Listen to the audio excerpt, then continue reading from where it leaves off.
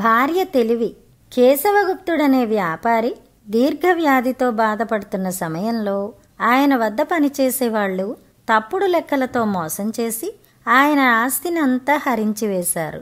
వ్యాధి నివారణ కోసం ఆయన వైద్యులకు మందులకు ఇంట్లో ఉన్న విలువైన వస్తువులు భార్య నగలు అమ్మవలసి వచ్చింది.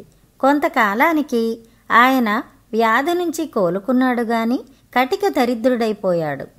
అంత దీనస్థితిలో కూడా కేశవగుప్తుడు అధైర్యపడక ఎవరి వద్దనైనా ఒక వంద వరహాలు అప్పు తీసుకుని తిరిగి ఏదైనా చిన్న వ్యాపారం ప్రారంభించదలిచాడు. అందుకోసం ఆయన జగదీపుడనే తన చిన్ననాటి స్నేహితుడి దగ్గరికి వెళ్ళాడు.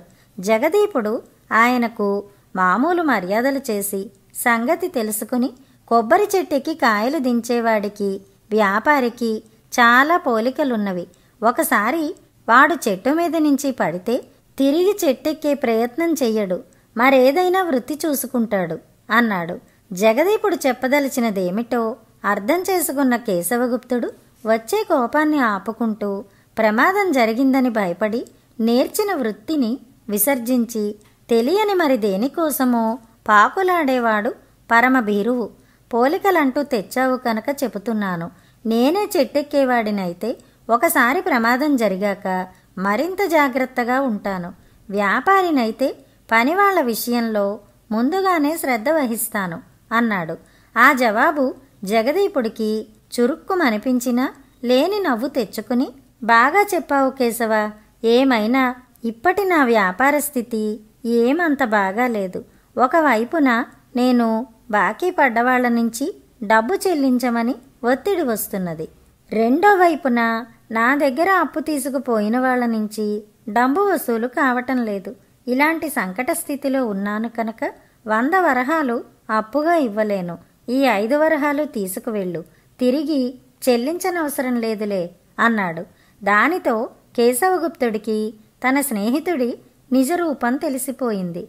ఆయన జగదీపుడిచ్చిన ఐదు వరహాలు తీసుకుని మరి ముగ్గురు స్నేహితుల దగ్గరకు వెళ్ళి సంగతి వివరించాడు. ఆ స్నేహితులు కూడా తమ కష్టసుఖాలు ఏకరువు పెట్టి తలా ఐదు వరహాలు తిరిగి ఇవ్వనవసరం లేదంటూ కేశవగుప్తుడికిచ్చారు. ఇక తనకు వంద వరహాల అప్పు దొరకడం అసంభవం అనుకుంటూ కేశవగుప్తుడు ఇంటికి తిరిగి వచ్చి భార్యకు తన స్నేహితుల ప్రవర్తన గురించి చెప్పాడు.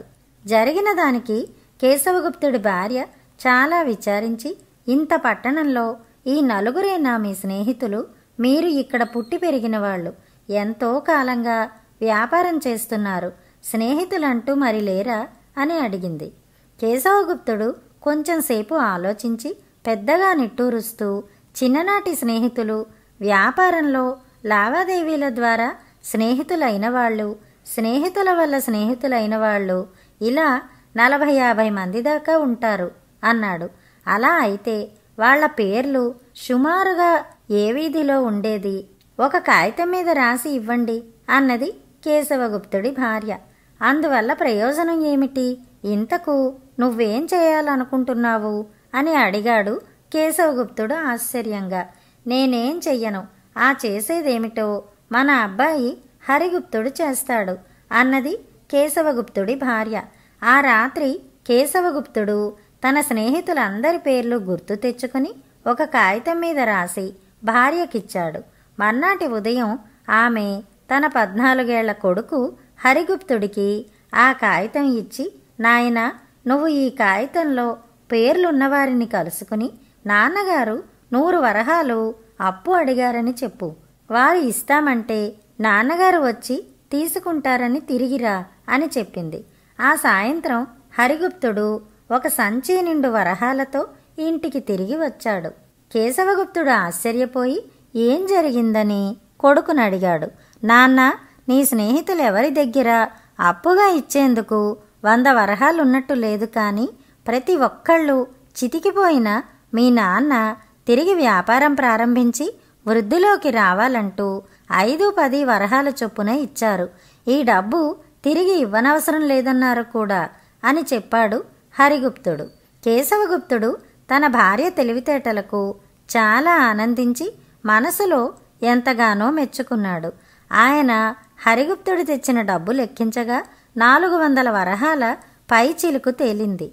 ఆ డబ్బుతో కేశవగుప్తుడు చిన్న ఎత్తున వ్యాపారం ప్రారంభించి ఐదారేళ్ళ కాలంలో తిరిగి తన పూర్వస్థితికి చేరుకున్నాడు. కథ కంచికి మన ఇంటికి.